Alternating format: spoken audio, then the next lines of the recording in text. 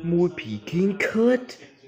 Why is it someone peeking out of Lady Elizabeth again? Shh.